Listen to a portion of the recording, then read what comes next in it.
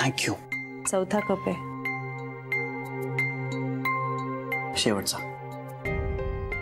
तू नर्वस असलास की चहा वाढतो तुझा श्री? झालाय चहा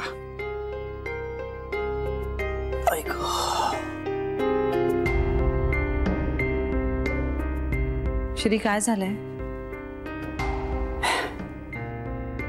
काही झालेलं नाहीये. ठीक आहे मी.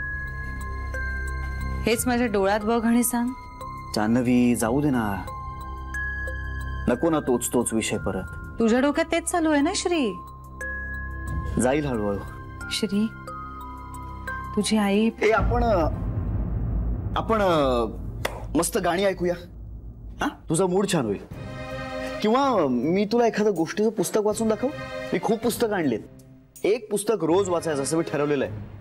आपल्या बाळावर त्याचे चांगले संस्कार होतील. तू का वाचून दाखवणार? मला जमेल तसं वाचीन मी. असं कसं?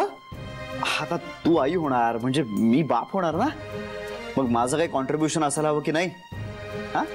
अरे मी बाप म्हणून काही करायला हवं की नाही? तू मुलगाही आहेस कुणाचा तरी.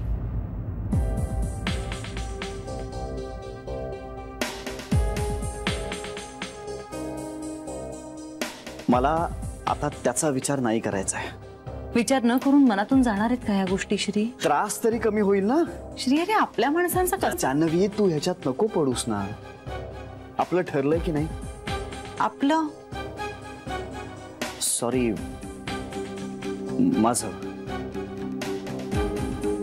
तू तुझा वेगळा निर्णय घेऊ शकतेस.